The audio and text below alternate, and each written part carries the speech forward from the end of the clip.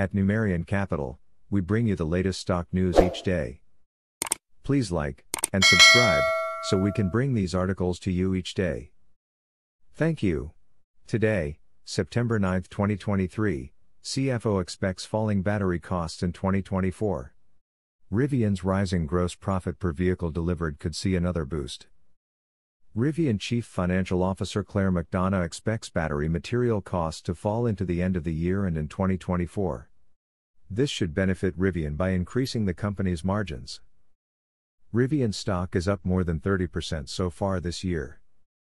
The prices for electric vehicle battery components have run rampant over the past few years in light of increasing adoption and supply chain inefficiencies. However, Rivian, NASDAQ RIVN, Chief Financial Officer Claire McDonough believes that the company will benefit from battery material price deflation into the end of 2023 and in 2024. At a Goldman Sachs conference, McDonough explained that falling battery raw material costs could give a boost to Rivian's margins as well as its competitors' margins. According to TrendForce, the falling costs is attributable to slowing demand for electric vehicles. Still, slowing demand isn't a good factor, despite its possible counter effect of reducing battery raw material costs. Rivian, which has emerged as a leading EV contender, is currently ramping up production of its in house drive unit. The unit is expected to result in cost savings benefits, improve production efficiency, and reduce Rivian's reliance on third party suppliers. According to Inside EVs, the unit also slightly increases the range of the R1T and R1S models. CFO calls for lower battery raw material costs. For 2023, Rivian has guided for production of 52,000 vehicles, which was raised from the initial 50,000 target. That reflects an over 100% increase from last year's production of 24,337 vehicles.